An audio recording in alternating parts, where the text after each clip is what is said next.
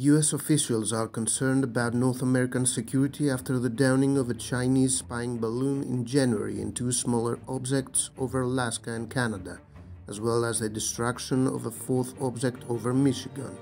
Officials suspect Chinese surveillance development, particularly in relation to tensions with Taiwan, and are now searching for debris from the fourth object in Lake Huron the head of North American Aerospace Defense Command and U.S. Northern Command, General Glen VanHerck, confirmed that first object was a Chinese spy balloon, but the other three remain unidentified. He refused to blame any particular nation and said more investigation is necessary to uncover details about these incidents.